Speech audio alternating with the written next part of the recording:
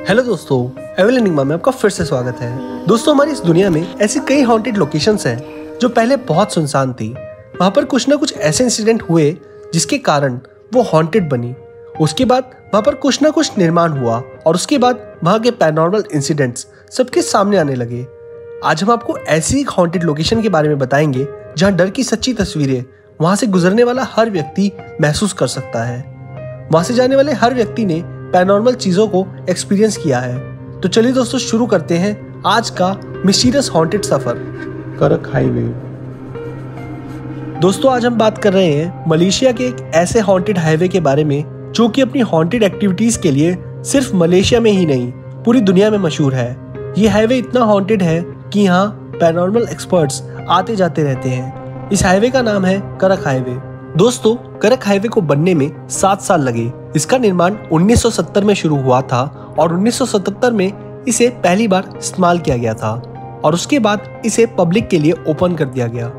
Highway के open होते ही यहाँ पर बहुत एक्सीडेंट्स होने लगे और जब एक्सीडेंट्स की जाँच हुई तो पता चला कि उसके पीछे के कारण हमेशा पैरानॉर्मल थे। जब एक्सीडेंट की वजह पूछी गई तो जिनका एक्सीडेंट हुआ, उन्होंने बताया कि उन्होंने एक्सीडेंट होने से पहले उनकी गाड़ी के आगे अचानक से एक पुराने मॉडल की पीले रंग की वॉक्स कार को देखा, जिससे टक्कर होने से बचाने के लिए उन्होंने अपनी गाड़ी मोड़ी और गाड़ी मोड़ते ही उनका एक्सीडेंट हो गया।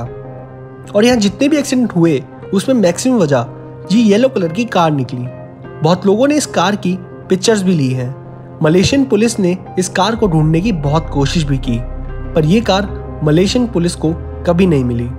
ये सब सच था या झूठ? इस बात के लिए पुलिस ने खुद इस हाईवे पर इन्वेस्टिगेशन शुरू कर दी और उसके बाद पुलिस ने खुद उस कार को इस हाईवे पर एक्सपीरियंस किया। पुलिस ने खुद इस कार को देखा है इस हाईवे पर और ये कार हमेशा रात के समय ही दिखती है। पैनोरमल एक्सपर्ट्स के द्वारा ऐसा बताया जाता है कि रात के समय ही इस कार को देखा जा सकता है। ये कार अचानक से हाईवे पर प्रकट होती है और फिर अचानक से ही हाईवे पर चलती गाड़ियों के बीच से गायब हो जाती है। अगला पैरानॉर्मल इंसिडेंट जो यहाँ देखा गया है, वो ये है कि यहाँ पर एक नौ साल का लड़का देखा गया है, जिसकी दोनों आँखों से खून निकलता है। वो लड़का रात के समय यहाँ दिखाई देता है। बहुत लोगों ने उसको देखा है। कईयों ने तो उसको सड़क के बीचों बीच गायब होते देखा है। अक्सर वो लड़का सड़क के किनारे रोते हुए दिखता है और वो ज़ोर ज़ोर से चिल्लाता है। जो उसको देखकर रुकता है, उससे वो अपनी माँ के बारे में पूछता है। जब उस लड़के को जवाब नहीं मिलता तो वो ज़ोर ज़ोर से चिल्लाते हुए आँखों से ओझल हो जाता है। इस हाईवे पर हर मोड़ पर डर की सच्ची तस्वीरें दिखती हैं। अब आपको एक किस्सा और बताते हैं, जो खुद यहाँ की मलेशियन पुलिस ने एक फैमिली के साथ होते हुए देखा था। ये कहानी है एक छोटे से परिवार की, जिसमें पति पत्नी और उनका दो साल का बच्चा था। वो फैमिली रात के वक्त अपनी कार में करक हाईवे से गुजर रही थी। तभी करक हाईवे पर एक पेड़ के नीचे जाकर उस फैमिली की गाड़ी खराब हो जाती है। उनकी गाड़ी के इंजन से धुआँ निकल रहा था। ये देखकर वह आदमी अपनी गाड़ी से बाहर निकला और उसने बोनट खोलकर चेक किया। तो उसे पता चला कि रेडिएटर में पानी सूख चुका है। फिर उस आदमी ने अपनी गाड़ी में पानी चेक किया, पर पीने तक का पानी उस फैमिली के पास नहीं था। रात बहुत हो चुकी थी, चारों ओर अंधेरा था, इसलिए वो आदमी अपनी गाड़ी में जाकर बैठ गया और मदद मांगने के लिए और गाड़ियों के गुजरने का वेट करने लगा। बहुत देर हो गई और कोई गाड़ी जब आसपास नहीं दिखाई दी तो वो पानी की कुछ खाली बॉटल्स लेकर खुद निकल पड़ा और बीवी से कहा, जब तक वो ना लौटे, तब तक गाड़ी के सारे डोर्स लॉक रखना। बाहर लाइट्स नहीं है, इसलिए खिड़की भी बंद रखना। और वो आदमी पानी की खाली बॉटल्स लेकर चला गया। उस आदमी को गए पंद्रह बीस मिनट ही हुए थे कि अचानक गाड़ी में बैठी महिला ज़ोर से चिल्लाई, क्योंकि उस कार की छत पर रात के सन्नाटे में बहुत ज़ोर से कोई भारी चीज़ आकर गिरी। और उस भारी चीज़ के कार की छत पर गिरने के बाद, कार की छत से ऐसी आवाज़ें आ रही थी जैसे कोई भयानक जंगली जानवर अपने शिकार को नोच नोच के खा रहा हो। ये आवाज़ें इतनी भयानक थी कि उस औरत ने डर के मारे अपने बच्चे को छाती से चिपका लिया।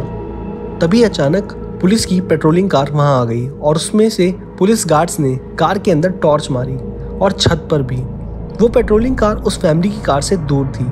जैसे ही गार्ड्स की टॉर्च छत पर पड़ी तो वो भयानक आवाज़ें छत पर से आनी बंद हो गई। पुलिस गार्ड्स ने ज़ोर से उस महिला को बोला कि जल्दी कार से बाहर आओ और पीछे मुड़कर मत देखना। ये बात सुनकर महिला से रुका नहीं गया और जैसे ही उसने पीछे मुड़कर देखा, वो ज़ोर ज़ोर से चिल्लाने लगी और रोने लगी। उस गाड़ी की छत पर कुछ इतना भयानक था जो देखने वालों के पैरों के नीचे से ज़मीन हिला देता। दरअसल उस कार की छत पर उस औरत के पति की कटी फटी लाश पड़ी थी।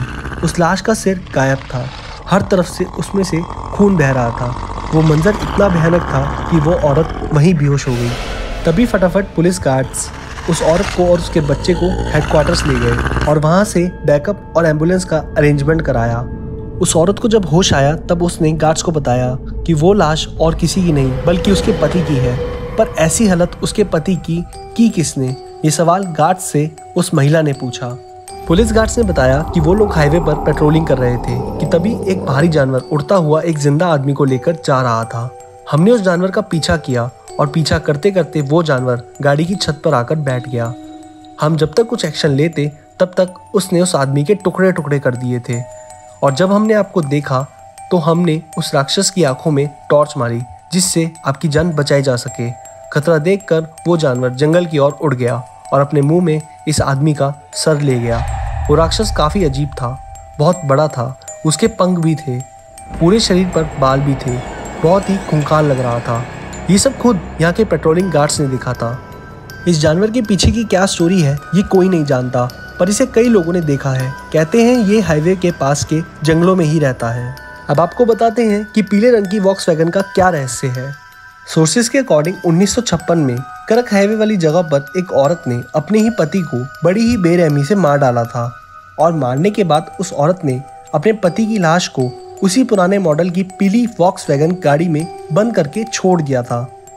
हालाँकि तब वहाँ पर कोई हाईवे नहीं बना था, लेकिन जब वहाँ पर करक हाईवे का निर्माण हुआ और जैसे ही वहाँ पर गाड़ियों का आना जाना शुरू हुआ, तभी से उस हाईवे पर वह पीली वॉक्स वैगन बहुत ही रहस्यमय ढंग से दिखनी शुरू हो गई। ऐसा बताया जाता है कि ये गाड़ी सड़ गई थी और इसके अंजर पंजर आज भी इस हाईवे के नीचे दफन है।